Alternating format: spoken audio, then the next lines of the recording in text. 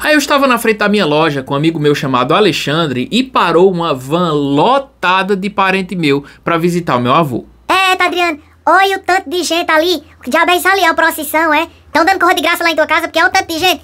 Eita porra, não tem condição de ter desse tanto de gente no carro daquele não. Povo veio tudo imprensado. Isso ali é um carro lata de sardinha. Ah, respeito, isso ali é meus parentes, rapaz. E, e todos os meus parentes eu amo e respeito. É minha família, minha família.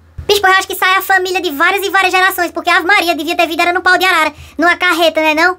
Tem certeza que é teus parentes mesmo?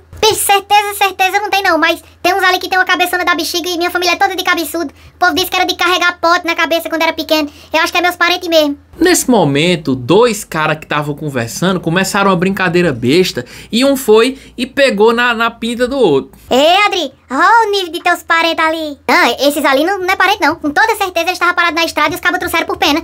Não, esses ali não. É, não, esses ali é o que mais parece com tu. Rapaz, será que é todo mundo assim, é? Sai de perto de mim, não vem com gaiatezinha não, viu? Que eu já tô lhe vendo aí. Oi, sai fora. Você não é meu tipo. Gente, pelo amor de Deus, quando vocês viajar pra cidade dos outros pra visitar os parentes, não faça vergonha a eles não.